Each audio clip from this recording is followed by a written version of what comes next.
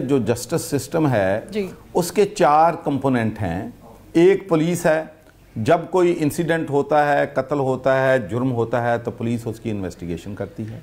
उसके बाद प्रोसिक्यूशन है वो इस केस को देखती है और प्रोसिक्यूशन जो है अदालत में सबूत पेश करती है और वहाँ पर स्टैकअप करने की कोशिश करती है कि जिन लोगों ने जुर्म किया है उनको सज़ा मिले।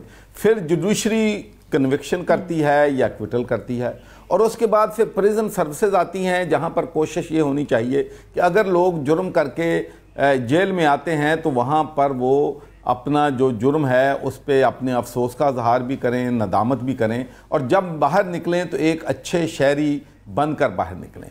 बदकिस्मती से ये चारों कंपोनेंट जो हैं, इसमें फॉल्ट्स हैं, जिसकी वजह से मिसाल के तौर पर पुलिस इन्वेस्टिगेशन करती है। और जो पुलिस का हाल है वो सबके सामने है।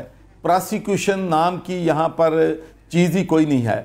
अब हो ये रहा है कि जब बहुत से लोग जो हैं जिन्होंने दस कत्ल किए हैं किसी ने तीस किए हैं किसी ने पचास डाके मारे हैं किसी ने कितने लोगों को कत्ल किया है तो फिर हुकूमतें या पावरफुल लोग एक आसान रास्ता निकालते हैं कि भाई ठीक है एक्स्ट्रा जुडिशल किलिंग इनकाउंटर बनाओ और इससे जान छुड़ा लो क्योंकि इनके खिलाफ कोई बंदा भी गवाह बनने के लिए तैयार नहीं है जो गवाह बनेगा उसको और सरपरस्ती भी हासिल होती है बड़े- बड़ों की अपने। लेकिन किसी भी। मुहजम बड़ों के इसमें होती है तो इसलिए लेकिन किसी भी मुआशरे में मैं समझता हूँ कि किसी को भी बगैर ट्रायल किए इस तरीके से कत्ल करना जो है वो बिल्कुल अनएक्सेप्टेबल है ये नहीं होना चाहिए लेकिन इसके साथ साथ ही हमें तमाम जो क्रिमिनल जस्टिस सिस्टम है इसको ठीक करना पड़ेगा। देखें चीफ जस्टिस साहब एक बात का नोटिस ले सकते हैं बड़ी अच्छी बात है कि वो जिन जिन चीज़ों का नोटिस लेते हैं।